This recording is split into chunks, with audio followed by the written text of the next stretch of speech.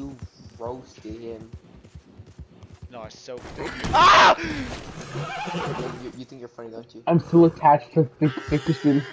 That's impossible. No Oh. fucking way. Oh. Can you help?